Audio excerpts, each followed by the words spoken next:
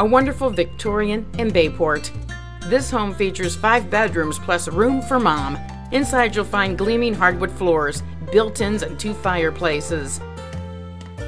The chef's kitchen has an eating area and a center island. This home sits on a one half acre lot with a two and a half car garage. Come out for an open house today from 1.30 to 3.30 or give Rosemarie DiChiari or Angela Parisi a call.